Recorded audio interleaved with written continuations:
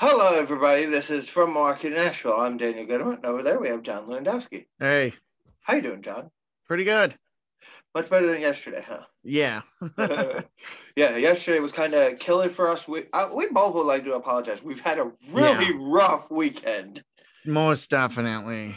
Um, so um, with that being said, we're actually gonna we came into this show high energy. So Yo, um, our show, speaking of high energy, is brought to you by Hockey Locker. 2002 West Howard Avenue, Milwaukee, Wisconsin. You can call them at 414-800-7585 or visit their website at hockeylockermilwaukee.com. They will take care of you for all your hockey needs, fan gear, player gear, figure skating gear. Need your skate sharpened, they got you. Matter of fact, if you need a place to skate, just go across the street. Wilson Park's right there.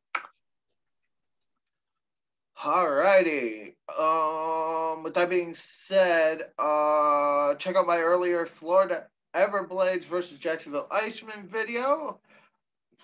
Trust me, it's a doozy. All right. Today, the Nashville Predators took on the Minnesota, I mean, Dallas North. Ah, the, the Dallas Stars. Um, if you see, I was, I still think that Dallas should, uh, the Minnesota North Stars should have never moved, especially since they put a team back there ten years later, Hmm. to the day. So, with that being said, shots on goal were 26-20 in favor of the Stars. There was no in favor of in the faceoff circle. 50 no, it's dead even. Uh, Dallas was 0 for 3 on the power play. If anybody remembers early in the season, in the first game the Preds played the Stars, Dallas torched our goalie for five power play goals in the first game. So for that turnaround, you're seeing what you're getting. Took a little while, but you're seeing what you're getting. Um, Nashville went 0 for 1, but I mean, really, it was a really physical game. So let's get into Yeah. that. Um, penalty minutes were 11 for Nashville, 7 for Dallas. Um, I believe we did have a five minute fighting major for the Arvidsson Andrew Cogliano fight. Now, yes, folks, you heard that right. Viktor Arvidsson versus Andrew Cogliano. That is not. Uh, these two are not fighters at No. all. Not at all. All right, but that's about all you got for penalties. In the first, however, you've got scoring. Wa- oh wait, I gotta get into the hits. Ha ha! Hits. There were fifty-five of them. Yeah, very Total. physical game played by the Predators tonight. 55 in total. 33 of them went to Nashville, 22 for the Stars. Um, block shots were 10 to 7 stars, and giveaways were 8 in favor of the Stars to Nashville's 10. But, you know, they played very physical and defensively sound. So if you do turn the puck over and you play that way, you're going to be okay. Yeah. You don't want to go any higher than 10. Nope. But Not preferably. no. All right. Scoring in the first was Roope Hintz with his 13th. Really good hockey player.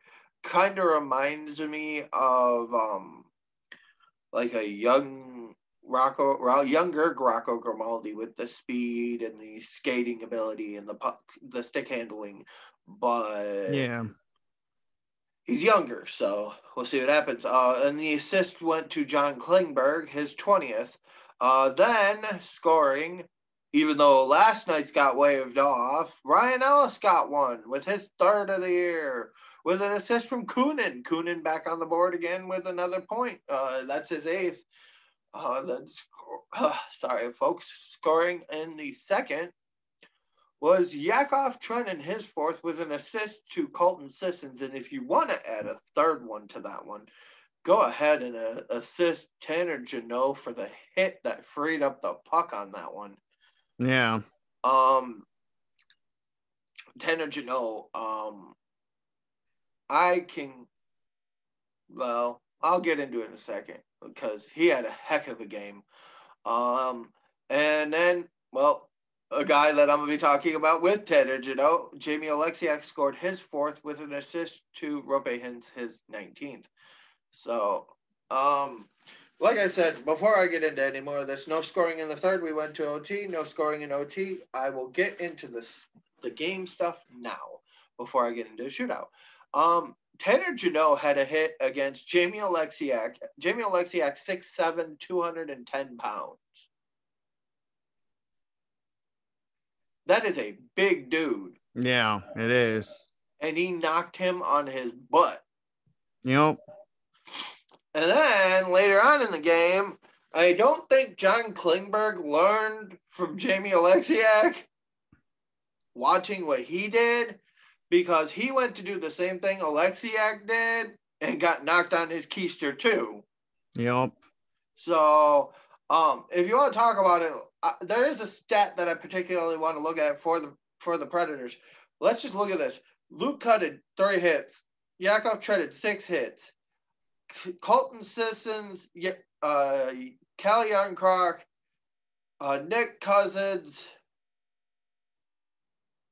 all had two hits. Uh, Harpur Ellis, Johansen had three. Tanner Jeannot had four. Uh, Granlund had one. Haula had one. Grimaldi had one. Uh, Benning had one. Ekholm had one. Davies had one. Only player without only players without a hit was Ben Harpur. Uh, Viktor Arvidsson, Rem Pitlick. But Pitlick only saw seven minutes of ice time Yeah. today. He was not on the ice much. But I did want to say this. There are some guys who seem to be getting caught out there for a bit, so that may have cut into his ice time. Yeah. Um, that's kind of like Jamie Davies only seeing 12 minutes where everybody else is almost in the 20s of time on ice. Um, also that with all the penalties and power plays and stuff, uh, that'll limit your ice time as well. Yeah. Well. Um, in net was Anton Khudobin. Hey buddy, how you doing? Just so y'all know, I I am friends with him. I do talk to him. He's a cool dude. He may not play for he may play for a team I don't like, but I've been friends with him before. He was even a Dallas Star. So, yeah. Um, he stopped 18 to 20 with a uh, 0.900 save percentage. Not a bad night, not a great night. If one more would have went by him, that that percentage would have dropped under eight. Under eight is bad. Above Yeah. uh, anything above nine is good. Speaking above nine, Juuse Saros, the man who lives above nine. Um, he stopped 24 of 26, one of one on the power play, 23 of 25 equal strength, no shorthanded shots against him. Good job um as far as our power play keeping Yeah. from getting any shorthanded chances. Um, his save percentage was zero point or ah, 0.93 ah, 0.923. Sorry, dyslexia at the moment for some reason. Um, he played well. Um, but let's get into the shootout. Shootout was shooting first was Ryan Johansen. He's magic in the shootout. yeah. Uh, then we got Jason Robertson, no goal. Roman Josi, no goal. He missed the net entirely. Um, Joe Pavelski, no goal. Cal Järnkrok, no goal. Roope Hintz, no goal. Preds win. Yep. And with that being said, uh, your referees tonight were Dan O'Rourke and Brian Pochmara. They didn't really get under my skin too much tonight. Uh, your linesmen were Andrew Smith and Brian Ponchich. Head coach for Dallas is Rick Bowness. They, Dallas needs to get their bonus back from him. Um, Nashville's head coach is John Hynes. He put the extra mustard on tonight. Uh, let me tell you, Jeannot and that lineup definitely. I don't think he's coming out when McCarron comes back. uh, then we got uh, scr- uh, scratches tonight for Dallas with Mark Pysyk. Scratches tonight for Nashville, Ellie Tolman and uh, Michael McCarron and Dante Fabbro.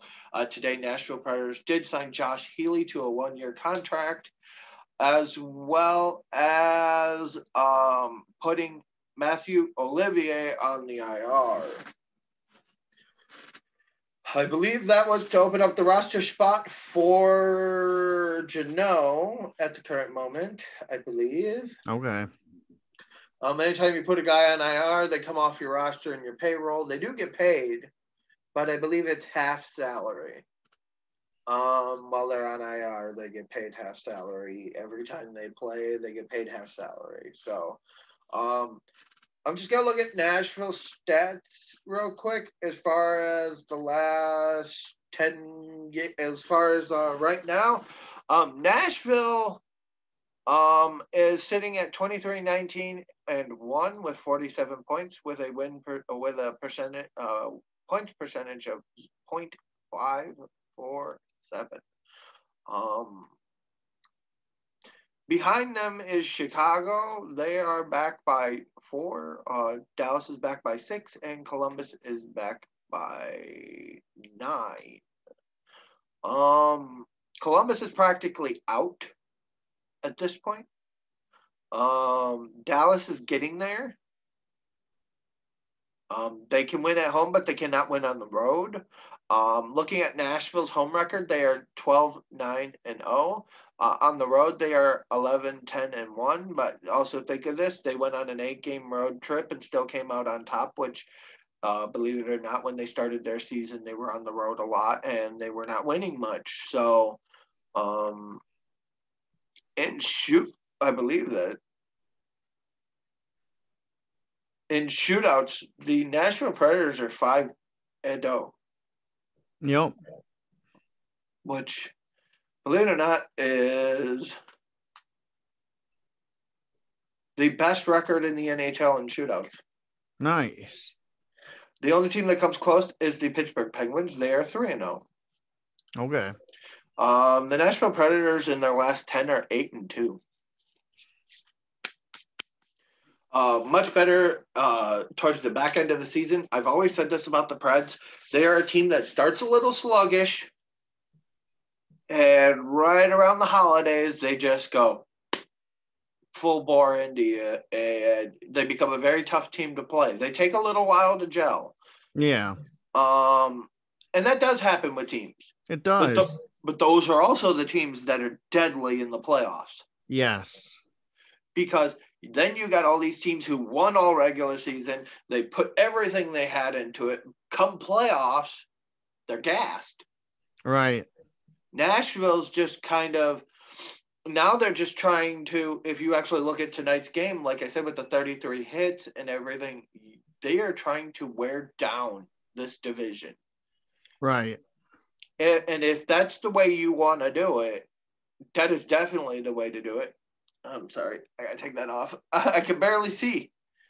Um, you could definitely look at the Broad Street Bullies and understand that they were so physical that they would literally wear a team out, and in the third, they could just pounce all over you. Right. No matter how many goals you were up by, there was always a chance to come back because they wore you out. right. And they had all that in reserve.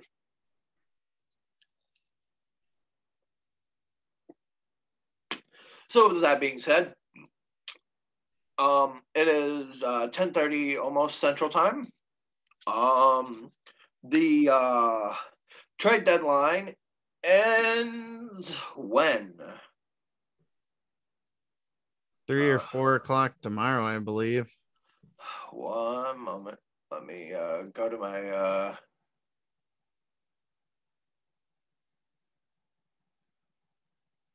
All right. Uh, cap friendly here. Up, we've got Penguins trade for Jeff Carter from the Kings. That is a deal that just uh, happened. And uh, David Rittich just got traded to the Maple Leafs from the Flames. Uh, former roommate of Marek Mazanec uh, back in the uh, when they were playing in the Czech League. Interesting little side note there. Uh, Yeah. Marek is a former. Uh, we have 15 hours. So 15 hours, 37 minutes, 12 seconds. That'll keep ticking down, but um Uh, with that being said, uh, you know, Ryan Getzlaf was just activated from IR. I would not be surprised to see him move. That would be an interesting move for the Preds as well. A big physical center to put in front of the net, something that they're heavily lacking. Yeah. Um, Nashville picked up, Jo- like I said, Josh Healy. If you want to know about Josh Healy, Josh Healy is a big bruising style defenseman. Kind of reminds me of Chara, but a compact version. He's like a okay. Rocco Grimaldi eats meets Chara. and, and in the way that he plays, and he he has zero forgiveness. He kind of reminds me of Dion Phaneuf. Hopefully, he doesn't like hitting his own teammates, but let's not get into that. um, with that being said, also signed to a contract today by the uh, New York Islanders is former Florida Everblades goalie and Admirals AHL contract Ken Appleby. Um, so another Admirals uh, alum from last season may get his NHL shot with the Islanders. oh, um, nice. So I mean, uh, also uh, I don't know if I uh, mentioned this, but uh, congrats to Mark Del Gaizo of UMass. Uh, he is a uh, a they won the uh, NCAA tournament yesterday, and Mark Del Gaizo is a fourth round pick by the Nashville Predators in 2019. Um, and he went to UMass. So congrats to him on yeah, uh, his college on his college success. Um, with that also being said, please sign soon. We need defensemen. I kid, I kid, I kid. Get your education. It's more important than playing the pro game, even though the pro game's a lot of fun. Trust me when I say that. Kind of speaking from experience. But with that being said, hope you guys enjoy the rest of whatever the two hours we got left of our weekend.